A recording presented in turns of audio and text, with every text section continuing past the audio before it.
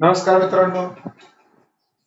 आपण पाठीमागच्या व्हिडिओमध्ये केपलरचे तीन नियम पाहिले आणि त्यातून आपण ग्रहगोलांच्या गतीविषयी जाणून घेतले.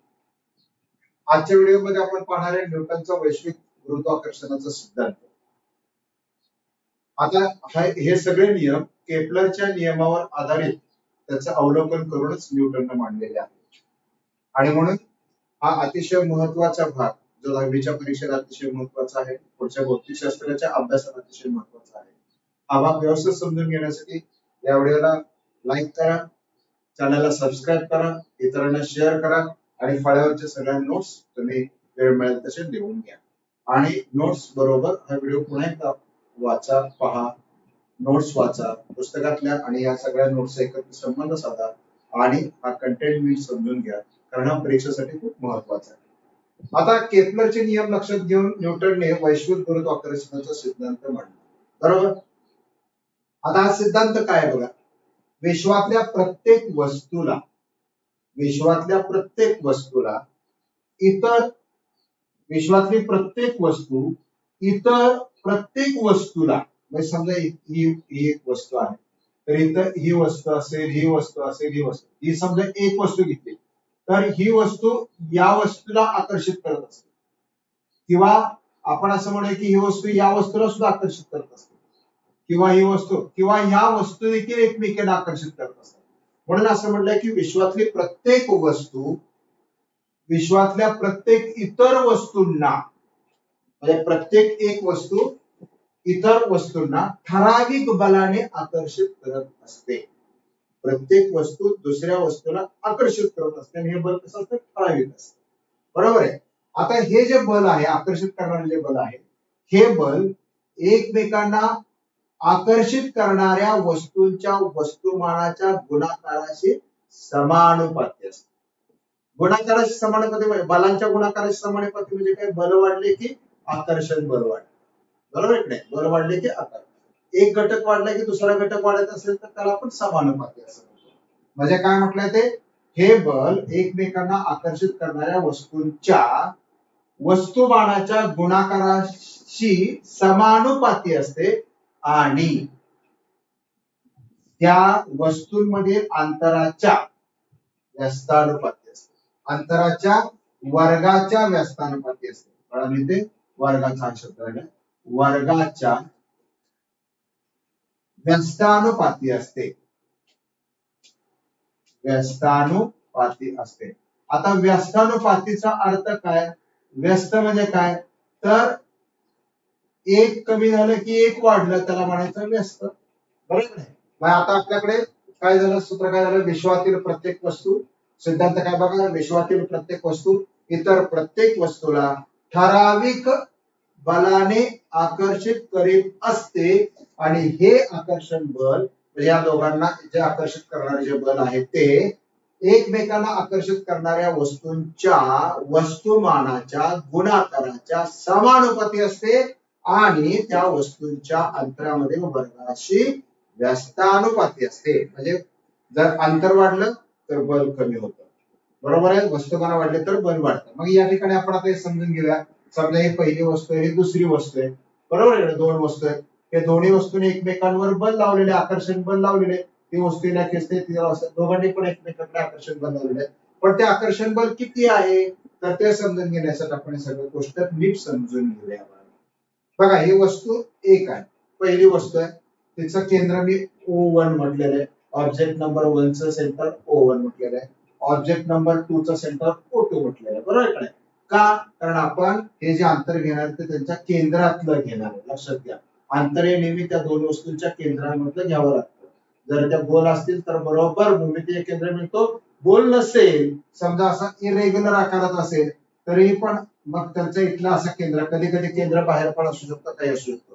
पण साधारणपणे आपल्याला तो ठरवता येतो.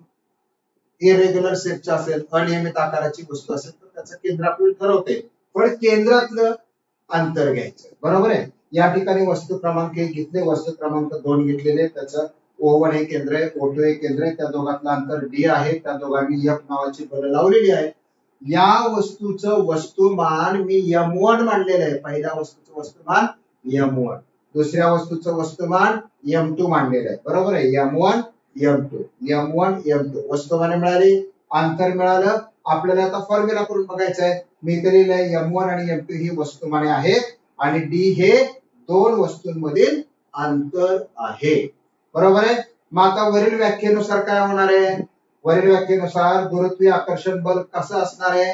एफ हे एम वन आणि एम टू शी या दोघांच्या गुणाकाराशी समानुपाती म्हणजे सरळ. आणि व्यस्तानुपातीला कसं लिहिणार?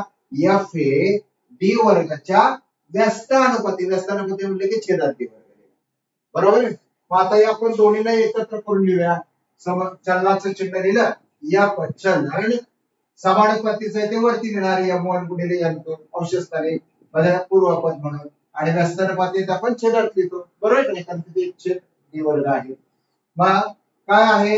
आकर्षित करणारा गुरुत्वीय बल काय आहे बघा बरं. या प्रपोर्शनल चलन एम वन एम टू बरोबर आहे चलन एम वन एम टू भागिले डी वर्ग म्हणजे या दोघांचा गुणाकार छेद डी वर्ग आता आपल्याला माहिती की असं चलनाचं चिन्ह असेल तर आपल्याला काय करावं लागतं? ते चलनाचं चिन्ह काढून टाकावं लागतं. त्याचं स्थिरांक मांडले की त्याची गणितीय आपल्याला मांडणी होते. बरोबर आहे मग ते चलनाचं स्थिरांक चलनाचं चिन्ह काढून टाकलं आणि तो स्थिरांक घातला. तो स्थिरांक कुठला घातलाय? वैश्विक गुरुत्वीय स्थिरांक. ज्याला जी म्हणून ओळखला जातो तो वैश्विक गुरुत्वीय स्थिरांक या ठिकाणी घातला. आणि म्हणून माझ्याकडे आता समीकरण काय तयार झालं? आकर्षण बल म्हणजे गुरुत्वीय आकर्षण बल एफ बरोबर जी गुणिले एम वन गुणिले एम टू छेद डी वर्ग. बरोबर का आता यामध्ये आपण असं म्हणलं की समानुपाती. समानुपाती म्हणजे काय? जर समजा वस्तुमान वाढली तर गुरुत्व बल वाढतं. पण ते किती वाढतं? गुरुत्वीय आकर्षण बलाच्या मूल्यावर वस्तुमानांचा नेमका काय परिणाम होतो?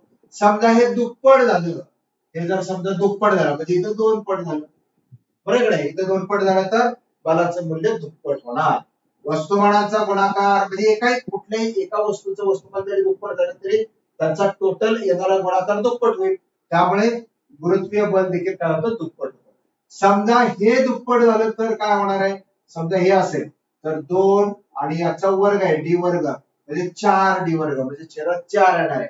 म्हणजे आपण असं म्हणणार आहे की जर अंतराचा परिणाम काय होतो? अंतर दुप्पट झालं तर एक चतुर्थांश पटीनं ते कमी होणार बघा नीट लक्षात घ्या.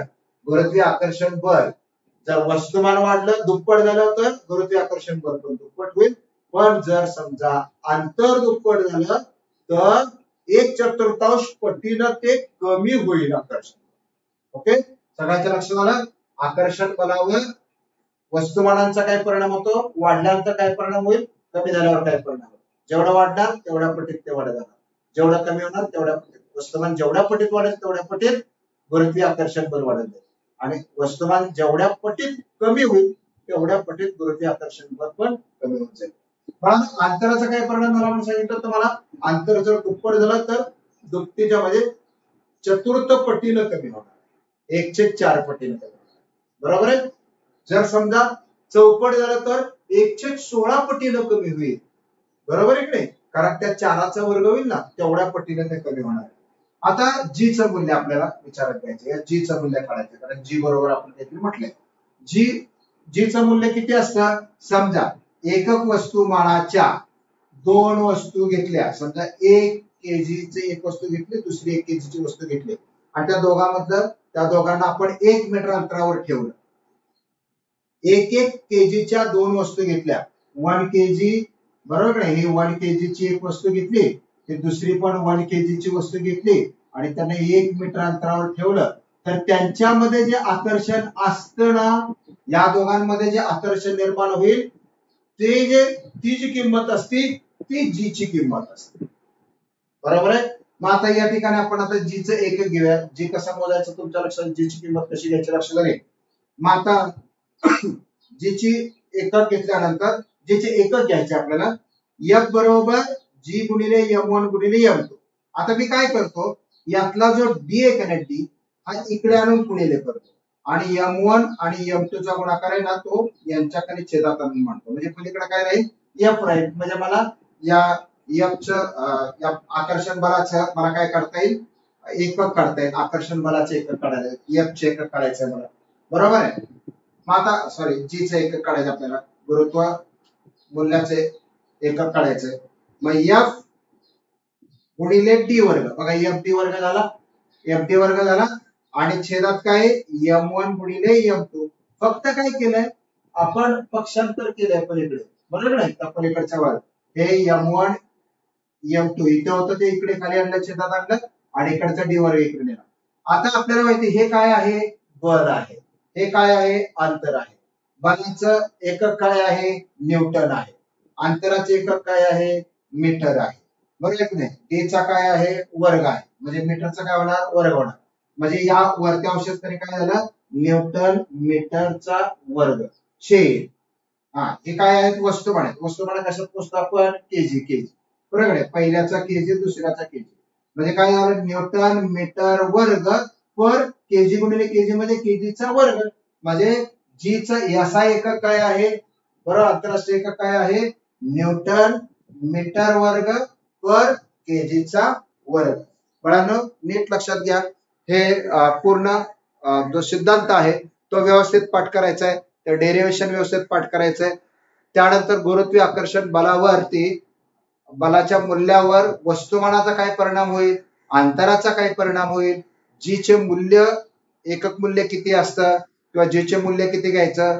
जीचं एकक कसं काढायचं? या सगळ्या गोष्टी मी दिलेल्या आहेत. याच्यामध्ये परीक्षेत तुम्हाला काय विचारलं जाऊ शकतं? एक मार्काला सिद्धांत विचारला जाऊ शकतो. आणि परत आणखीन या वस्तुमानाचा परिणाम. वस्तुमानाचा परिणाम. जीच्या मूल्यावर होणारा वस्तुमानाचा परिणाम. त्यानंतर आकर्षण बलाच्या मूल्यावर होणारा वस्तुमानाचा परिणाम. आकर्षण बलाच्या पुढल्यावर होणारा अंतराचा परिणाम हे एखाद्या मार्काला असू शकतं किंवा बहुपर्यायी प्रश्नांमध्ये असू शकतं. जी जे एकक स्पष्ट कराल हे पण तुम्हाला दोन मार्काचा प्रश्न असू शकतो. त्यामुळे हा व्यवस्थित व्यवस्थितपणे वाचायचा व्यवस्थितपणे समजून घ्यायचा. आता पुढचा कडे आपण पृथ्वी आकर्षण बल एफ बरोबर जी गुणिले एम वन गुणिले एम टू छेद डी वर्ग पाहिले. म्हणजे आर वर्ग असा आपण पाहिजे आता या ठिकाणी आपण हा अंतराचा वर्ग का घेतला? तो बघायचा. आणि तो कसा घेतला? आणि यासाठी हा पुढचा भाग आपण पाहतो एक समान वर्तुळाकार गती आणि अभिकेंद्री बलाचा परिणाम. आपण पुन्हा एकदा थोडासा अभ्यास करणार. त्याच्यानुसार हे आपण समजून घेणार आहे. डी वर्ग का घेतला? व्यवस्थानुपाती समजा एक वस्तू एक समान वर्तुळाकार गतीने गतिमान आहे. ही वस्तू आहे. आणि ही वस्तू अशी गतिमान आहे याच्यावरती अशी फिरते बरोबर आहे? एक समान वर्तुळाकार गतीने फिरते त्यावेळेला या केंद्रामधलं या वस्तूवर एक अभिकेंद्री बल कार्य करत असतं म्हणून ही वस्तू या भोवती एक समान वृत्तीय गतीने फिरत असते. अन्यथा ही वस्तू याच्यापासून दूर जाईल. पण या वस्तूला असं केंद्राकडे आकर्षणार आकर्षून घेणार एक बल काम करत असते वस्तू आणि म्हणून ती वस्तू या केंद्रावरती एक समान फिरत असते. समजा या फिरणाऱ्या वस्तूचं वस्तुमान आपण यम मांडलं या वस्तूची जी चाल आहे त्याला आपण व्ही मांडलं बघा नीट लक्ष द्या. कारण दिशा बदलते म्हणजे ती चाल आहे. आपण वेगात घेऊ शकतो आणि ज्या वर्तुळाकार कक्षेमध्ये ही वस्तू फिरते त्या वर्तुळाकार कक्षेची ही जी त्रिज्या आहे म्हणजे त्या केंद्र आणि वस्तूमधलं अंतर आहे म्हणजे ही त्रिज्या ती आपण डी तिला आर मांडला तर मग या ठिकाणी या वस्तूच्या आणि या वस्तूवर होणाऱ्या जे बलाचं परिमाण आहे ते किती असेल?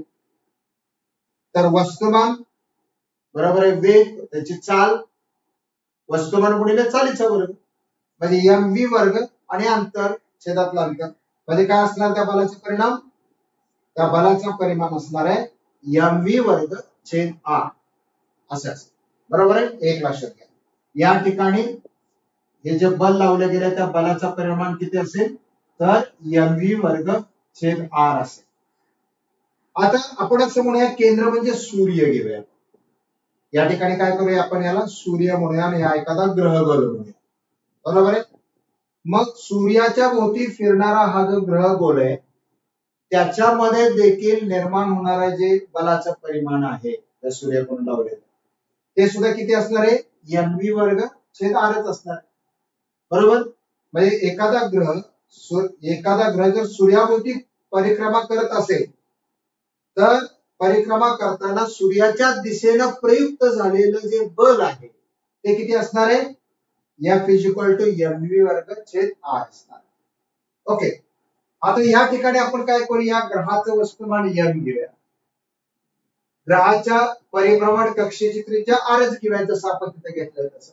आणि ग्रहाची चाल म्हणजे त्या ग्रहाचं आवर्तन काल बरोबर किती कालावधी लागला? तीच त्याची चाल असणार आहे. ती आपण टी घेतली बरोबर म्हणजे आता काय काय घेतलं? ग्रहाचं वस्तुमान यम घेतलं. त्यानंतर त्रिज्या सूर्याच्या पासून त्या ग्रहापर्यंतचा म्हणजे तिची जी परिभ्रमणाची जी लंबवर्तुळाकार जी काही गोलकडी आहे जी गोल परिक्रमा आहे त्या परिक्रमेची ती कक्ष आहे त्या कक्षपर्यंतची कक्षेची त्रिज्या आपण आर घेतली. आणि त्या कक्षेमध्ये त्या एक ग्रहाला एका ठिकाणावर निघून पुन्हा त्याच ठिकाणी येण्यासाठी लागणारा कालावधी म्हणजे त्या ग्रहाची चाल घेतली ती घेतली आपण टी आता या ठिकाणी आपण असं म्हणूया की त्या ग्रहाने एका परिक्रमेत पार केलेलं अंतर किती असेल इथून पूर्णपणे जाताना? तर हे एका परिघ एवढं असेल. म्हणून पार केलेलं अंतर आपण किती घेतलं? त्या परिघ एवढं. त्या परिभ्रमण कक्षेच्या म्हणजे गोल कड्याच्या परिघा एवढं घेतलं. तो पाया घेतला आता आपल्याला चाल काढायची. चाल म्हणजे काय? अंतर भागिले वेळ. अंतर किती आहे? टू पाय. टू पाय आर वेळ किती लागलाय? टी म्हणजे चाल किती मिळाली? टू पाय आर आता हे जे आहे ना ही चाल आहे ना ही चाल आपण या ठिकाणी घालूया. म्हणजे या एम व्ही स्क्वेअरमध्ये घालूया आपण. बरोबर आहे? म्हणजे त्या व्ही स्क्वेअरच्या तिथे हे जे आपण जी चाल काढलेली आहे व्हीची किंमत आपण काढलेली आहे अंतर भागिले वेळ काय अंतर भागिले वेळ काढलेले टू पाय आर छेद टी काढलेला आहे. तो बरोबर या सूत्रात झालं ना? आपल्याला हे जे सूत्र मिळाले त्याच्यातलं असणार प्रयुक्त होणार आत्मकेंद्रीय बल किती येते काढल्या. एफ बरोबर एम व्ही स्क्वेअर छेद आर आहे. व्ही स्क्वेअरच्या ठिकाणी हा जो व्ही ची किंमत मिळाली ना टू पाय आर छेद टी ती मी तिथे घातली आणि त्याचा वर्ग आहे बघा. हा टू पाय आर छेद टी म्हणजेच काय आहे? व्ही आहे. आणि व्ही चा काय आहे? वर्ग आहे. म्हणून तो वर्ग केला. म्हणजे मला आता सूत्र काय मिळाले? एम दोनाचा वर्ग चार पायचा वर्ग पाय आरचा वर्ग आर छेदात टीचा वर्ग. आणि ते छेदात एक छेद आर होतं ना? एक छेद आर त्याला उलटून गुणिले केलं आणि ते म्हणजे आर छेद एक होतं. त्याला उलटून गुणिले केलं एक छेद आर बरोबर? आता या आर न या आर ला वागल्यानंतर इथं फक्त एकच आर राहील आर वर्गामधला एक आर निघून जाईल. मग आपल्याकडे सूत्र काय राहील? तयार होणार आत्मकेंद्रीय बल किंवा प्रयुक्त होणार आत्मकेंद्रीय बल किती असेल? सूर्यापासून. बरोबर आहे ना? सूर्यापासून तयार होणार आत्मकेंद्रीय बल कोणावर? जळावर काम करणार. या बरोबर. चार यम पाय वर्ग आर संख्या सुरुवातीला घेतली. अंक. बरोबर छेद टी वर्ग. आता काय करूया?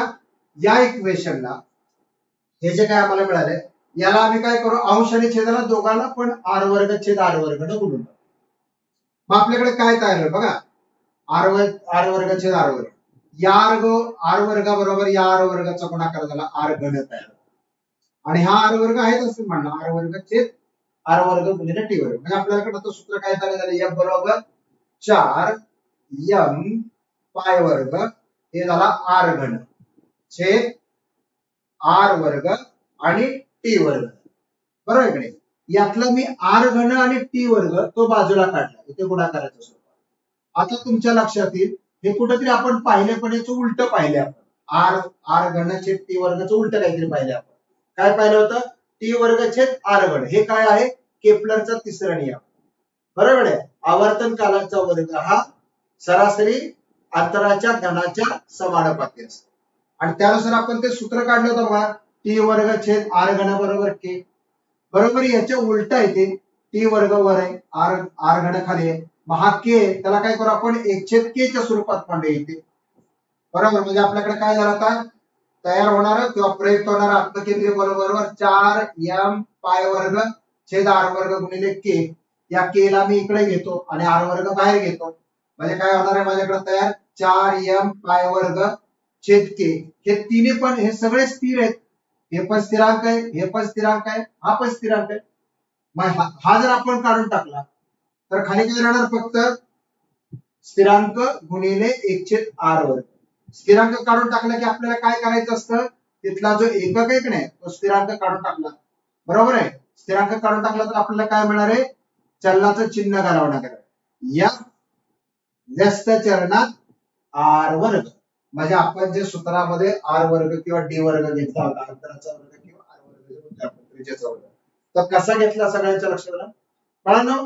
या सगळ्या गोष्टी समजून घेताना अतिशय महत्त्वाचा भाग म्हणजे हे जे आत्मकेंद्रीय बल जे आहे हे काय आहे? वर्गाच्या व्यस्त प्रमाणात आहे हे आपल्याला लक्षात आलं. आणि हे बल अतिशय महत्वाचं नोट डाऊन करायचं हे हे जे आकर्षण बल आहे प्रयोग करणार आकर्षण बल आहे हे इतकं कमी आहे इतकं कमी आहे. पण हे जे ग्रह गोल आहेत यांचं आकारमान आणि त्यांचं वस्तुमान. आता आकारमान हा विचारात न घेता या ग्रह गोलांचं वस्तुमान इतकं जास्त आहे की त्यामुळे जरी ते गुरुत्वीय आकर्षण बल जरी कमी असलं तरीही त्याचा होणारा परिमाण परिणाम इतका आहे की ते सगळ्या अख्ख्या विश्वाला नियंत्रित करते आणि म्हणून या सगळ्या गोष्टींचा अभ्यास करणं खूप गरजेचं आहे. बाळांनो हे आपल्या अभ्यासातला अतिशय महत्त्वाचा भाग आहे. हे तुम्हाला बरोबर चार मार्काला डी वर्ग म्हणजे अंतराच्या व्यस्तानं पाती घेतलंय हे समजून सांगायला तुम्हाला बरोबर तीन मार्कांचा प्रश्न होऊ शकतो. त्यामध्ये तुम्ही काय काय सांगायचंय? तर वैश्विक गुरुत्वाकर्षणाचा सिद्धांत सांगायचा आहे नंतर एकसमान वृत्ती करते आणि अभिकेंद्र बलाचा परिणाम सांगत निषेध करत उत्तर द्यायचंय. या याच्यावर काही उदाहरणे देखील अवलंबून आहेत. ती उदाहरण आपण पुढच्या व्हिडिओमध्ये पाहणार आहे. मला व्हिडिओला लाईक करा. तुम्हाला आवडलं लाईक करा. त्यानंतर निश्चितपणे चॅनलला सबस्क्राईब करा. इतर मुलांना सांगा नोट्स सगळे लिहून घ्या आणि अभ्यास वाढवा. आपल्याला त्याची गरज आहे. Thank you have a good